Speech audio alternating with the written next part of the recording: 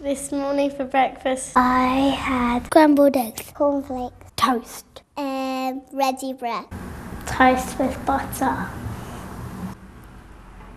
toast, um, I had Coco Pops and Weetabix, um, um, golden nuggets.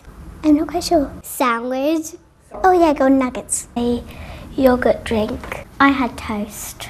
I had a chocolate bar. I had a ham sandwich. Sometimes I don't even have breakfast because I'm like, it looks like I ate in the night. I had toast, but I didn't eat it. I think I had porridge. Porridge. I had porridge.